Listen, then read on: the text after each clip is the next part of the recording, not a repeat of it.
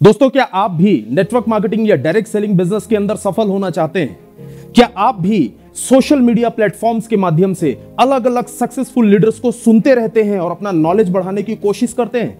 अगर आपका जवाब हाँ है तो मेरा ये प्रॉमिस है कि आज का ये वीडियो आपके बहुत काम आने वाला है और आपकी जर्नी ऑफ़ सक्सेस में ये वीडियो वीडियो अच्छा खासा कंट्रीब्यूशन देने वाला है।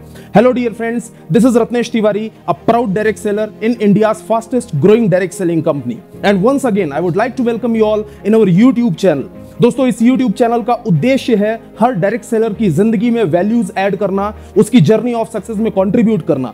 डियर फ्रेंड्स आज मैं फिर से आपके सामने हाजिर हुआ हूँ हमारी वी टू वी सीरीज़ का थर्ड वीडियो लेकर। जी हाँ हमारा फ़र्स्ट वीडियो था फॉर्मूला फॉर इनकम हमारा सेकंड वीडियो था कंपटीशन वर्सेस कॉपरेशन और आज जो हमारा थर्ड वीडियो है, इसमें हम ये बातें करने वाले हैं कि सोशल मीडिया प्लेटफॉर्म्स के माध्यम से कैसे हम सीखें ताकि हमारी सक्सेस की स्पीड बढ़ सके और हम बहुत तेज़ी से अपने गोल्स को अचीव कर सके।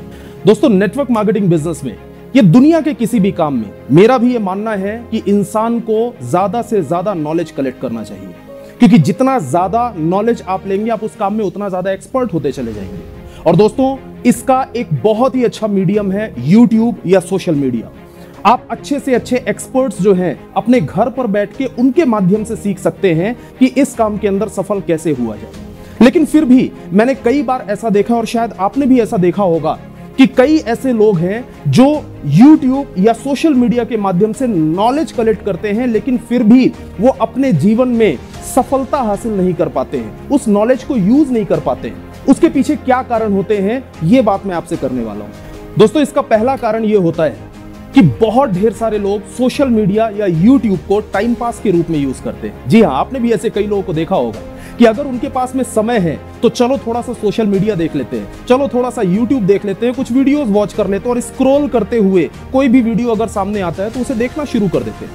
किसी ने अगर नेटवर्क मार्केटिंग के बारे में सीखने का सोचा तो कभी वो नेटवर्क मार्केटिंग का वीडियो देख लेता है, किसी ट्रेनर को सुन लेता है, और बाद में वो कॉमेडी शो भी देखना शुरू कर देते हैं। युवराज सिंह ने छह छक्के कैसे मारे, ये भी देखना शुरू कर देते हैं। थोड़ा इंटरटेनमेंट भी हो जाता है, और इसका नतीजा ये होता है कि बहुत ढेर सारी चीज़ें देखने के बाद भी वो किसी नतीजे पर नहीं पहुँचते हैं और उनका वो जो टाइम है, उसमें वो इंजॉय तो करते हैं, लेकिन उनका कोई फ़ायदा नहीं हो पाता है। और दोस्तों, दूसरे ऐसे लोग होते हैं, जिनका उद्देश्य तो क्लियर होता है। वो एक ही प्रकार के वीडियोस को देखते हैं बार बार वॉच करते हैं, बहुत ढेर सारे स्पीकर्स को सुनते हैं, लेकिन फिर भी उनका कोई फ़ायदा नहीं हो पाता है।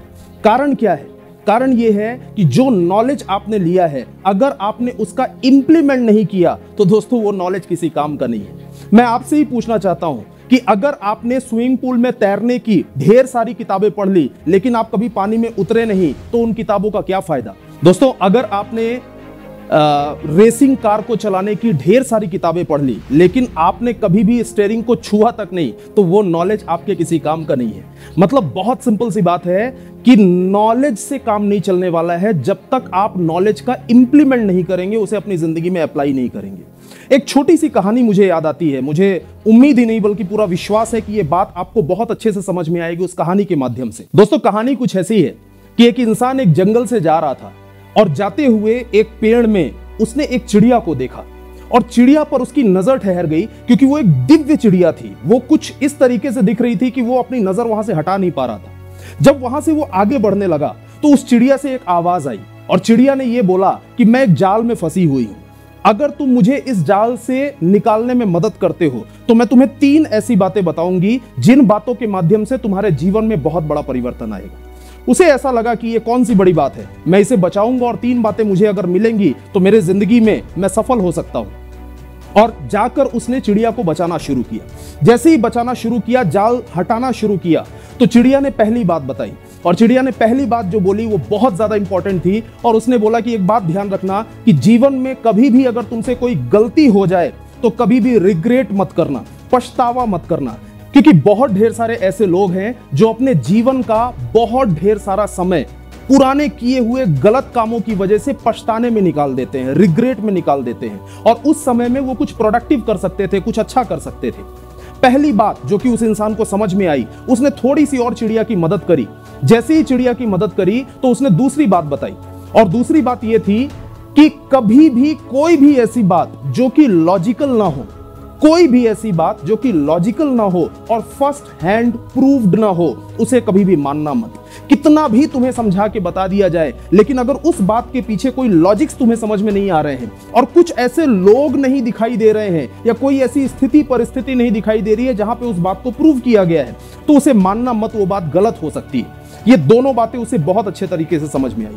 और दोस्तों, ये दोनों बातें मतलब पहली बात जो मैंने आपको बताई या उस चिड़िया ने उस इंसान को बताई कि कभी भी रिग्रेट मत करना, पछतावा मत करना और दूसरी बात, जो भी बात लॉजिकल ना हो और फ़र्स्ट हैंड प्रूफ ना हो, उस पर विश्वास ना करना, ये दोनों बातें समझ में आने के बाद कुछ घटना ऐसी हुई कि वो चिड़िया वहाँ से उड़ गई और उड़ते हुए, चूँकि वो चिड़िया बोल सकती थी, उसने पहले बोला था, उड़ते हुए उस चिड़िया ने यह बोला कि तुमने बहुत बड़ी बेवकूफ़ी कर दी है, मेरे पेट में कुछ हीरे हैं जिनकी कीमत कम से कम पचास लाख रुपए से ज़्यादा है और तुमने मुझे यूँ ही जाने दिया। अगर तुम मुझे मारते और पेट से हीरे अगर निकाल लेते तो तुम्हारे पास इतने पैसे आ सकते थे। और ये सुनकर वो इंसान पछताने लगा।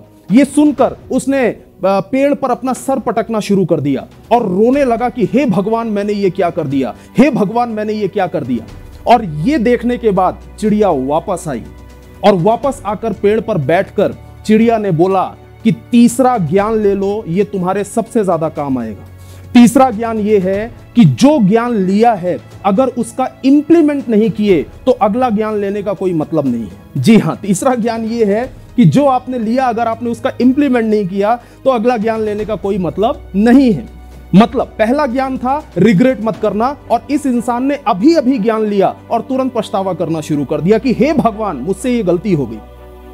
दूसरा ज्ञान दिया था, जो बात लॉजिकल ना हो और फ़र्स्ट हैंड प्रूव्ड ना हो, उस पर कभी विश्वास नहीं करना। चिड़िया के पेट में हीरे, क्या ये लॉजिकल है? क्या ये फ़र्स्ट हैंड प्रूव्ड है? लेकिन फिर भी उसने विश्वास कर लिया और विश्वास करके उसने पछताना शुरू कर दिया। सो डियर फ्रेंड्स मैंने आपको ये कहानी इसलिए सुनाई क्योंकि हमारे बहुत ढेर सारे ऐसे फ्रेंड्स हैं जो कि नॉलेज ढेर सारा कलेक्ट करते हैं, लेकिन उस नॉलेज को इंप्लीमेंट करने के ऊपर ध्यान नहीं देते हैं। मेरी बात ध्यान से सुनिएगा। लोग बोलते हैं कि नॉलेज इज़ पावर बचपन में हमने पढ़ा नॉलेज इज़ पावर हमारे टीचर्स आज भी पढ़ा रहे हैं नॉलेज इज़ पावर लेकिन सॉरी टू से मैं माफ़ी चाहूँगा, आज मैं आपको ये बोलना चाहूँगा कि ये सही नहीं है। सिर्फ़ नॉलेज से पावर नहीं मिलता है, ये पूरी तरह सही नहीं है। नॉलेज इज़ पावर के सामने अप्लाइड लगाना बहुत ज़्यादा ज़रूरी है। अप्लाइड नॉलेज इज़ पावर ये कंप्लीट सेंटेंस है। अगर आपने अपने जीवन में नॉलेज लिया और उसे कभी भी अप्लाई नहीं किया तो उस नॉलेज का कोई भी फ़ायदा होने वाला नहीं है। सो डियर फ्रेंड्स मेरा कहने का बिल्कुल सीधा सा मतलब है कि आप यूट्यूब वीडियोस को ज़रूर वॉच करें। आप सक्सेसफुल लीडर्स को ज़रूर सुने। आप बहुत ढेर सारी मोटिवेशनल किताबों को ज़रूर पढ़ें बेसिक्स को ज़रूर सीखें, लेकिन जो आपने सीखा है, उसे अप्लाई ज़रूर करें। क्योंकि आपने अगर अप्लाई नहीं किया तो वो सारा नॉलेज वेस्ट हो जाएगा, व्यर्थ हो जाएगा और आप अपने जीवन के अंदर सफल नहीं हो पाएँगे। डियर फ्रेंड्स ऐसे कई ढेर सारे लोग मैंने देखे हुए हैं कि वो एक बार में अगर लिस्ट मेकिंग सीखना चाहते हैं या नेटवर्क मार्केटिंग की बेसिक सीखना चाहते हैं तो स्क्रोल कर करके कम से कम पाँच वीडियो छह वीडियो और मैंने तो कई ऐसे लोगों को देखा हुआ है, वो दस दस वीडियो देख लेते हैं ताकि उनके पास में नॉलेज ढेर सारा हो जाए और कभी लोगों के सामने खड़े होकर वो उस नॉलेज को लोगों को बता सके शेयर कर सके और उन्हें वाहवाही मिल सके। लेकिन दोस्तों, हमें इन वीडियोस को वाहवाही के लिए नहीं देखना है, बल्कि अगर एक्चुअली हमें इस इंडस्ट्री के अंदर सफल होना है। अगर एक्चुअली हमें हमारे ड्रीम्स को अचीव करना है तो हमें इंप्लीमेंट करना होगा। मैं ये बोलता हूँ कि एक ही टॉपिक के ऊपर आपको 10 वीडियो देखने की ज़रूरत नहीं है। अगर एक वीडियो आपको अच्छा मिल गया है तो उस वीडियो को 10 बार देखने की ज़रूरत है। अगर आप किताबें पढ़ना चाहते हैं और पढ़ना चाहिए, जो कि बहुत ज़्यादा ज़रूरी है तो आपको 10 किताबें पढ़ने की ज़रूरत नहीं है, बल्कि एक ही किताब को 10 बार पढ़ने की ज़रूरत है, क्योंकि जितनी ज़्यादा बार आप पढ़ेंगे, जितनी ज़्यादा बार आप देखेंगे, उतना ज़्यादा अच्छे से उन चीज़ों को आप अप्लाई कर पाएँगे और अपने जीवन में सफल हो पाएँगे। डियर फ्रेंड्स हमारी वी टू वी सीरीज़ यानी वायरस टू विक्ट्री सीरीज़ में हम 20 वीडियोस की सीरीज़ लेकर आ रहे हैं, जिसमें ये थर्ड वीडियो था और वाई नेटवर्क मार्केटिंग और हाउ नेटवर्क मार्केटिंग को हम बहुत अच्छे तरीके से आपको समझाने वाले इन वीडियोस के माध्यम से। डियर फ्रेंड्स अगर आप इस चैनल में नए हैं तो चैनल को सब्सक्राइब कर लें बेल आइकन को आप हिट कर लें, ताकि ये सारे के सारे वीडियोज़ आपको प्रॉपर सीक्वेंस में मिले। आप जो बातें बताई जा रही हैं, उसको इंप्लीमेंट कर सकें नॉलेज को अप्लाई कर सकें और आपकी जर्नी ऑफ़ सक्सेस में इस चैनल के माध्यम से एक अच्छा कॉन्ट्रीब्यूशन हो सके।